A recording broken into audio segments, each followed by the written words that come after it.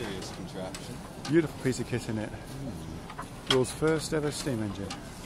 Didn't I see this on one of Frank, uh, Fred Dibnah's things? Might have done. Looks familiar. A gorgeous bit of kit. Mm,